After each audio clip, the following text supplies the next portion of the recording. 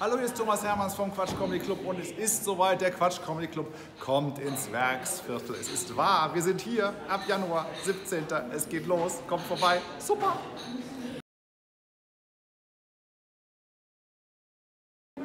Der Quatsch Comedy Club und das Werksviertel passen so gut zusammen, weil das Werksviertel ein ganz internationales Konzept ist mit nationalen Wurzeln, natürlich lokalen Wurzeln, aber man fühlt sich hier zwischen München und Brooklyn und das passt gut zur Stand-up-Comedy. Das passt gut zu uns, deshalb sind wir gerne hier.